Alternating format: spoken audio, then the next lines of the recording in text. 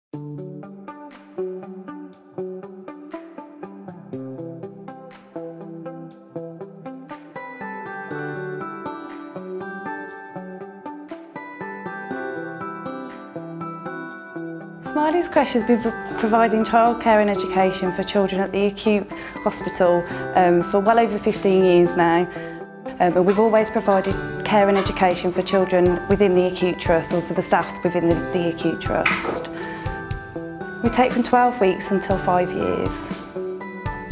Well, it varies depending on age range, but for our baby unit, um, it's lots of, lots of messy play and lots of sensory activities, things that have a different tactile approach or things that um, sound different, um, very brightly coloured to encourage their